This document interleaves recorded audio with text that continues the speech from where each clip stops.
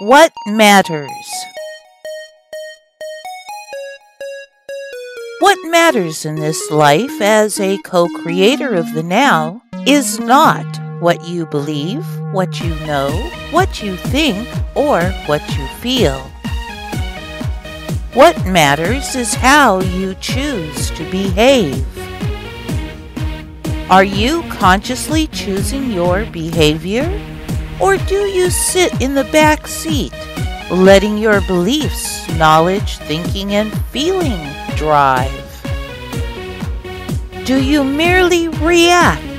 Or do you examine your possibilities and choose the best behavior, that which will create the best outcome?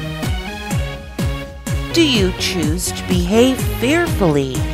Or do you choose to behave lovingly. We are all equal in consciousness. We are not equal in our choices of behavior. Some choose well and others poorly. And most choose somewhere in between.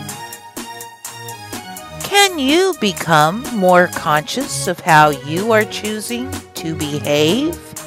Will you choose to behave such that what we co create is better?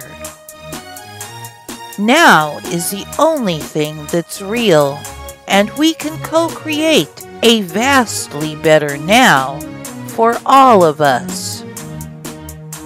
See my playlists for what you can help us co create. Amaterasu Solar, shill for humanity. Love always. Humanity will win.